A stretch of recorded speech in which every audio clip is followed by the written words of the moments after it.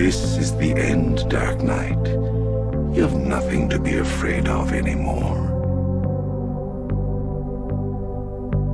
Master Bruce, I hoped it would never end like this. Rest in peace. It's been a long rivalry, Bat. But this is the only way it could end. Death is called Batman. Oops! You're dead! Wait, does that mean I'm dead? Get up, Bruce! Get up!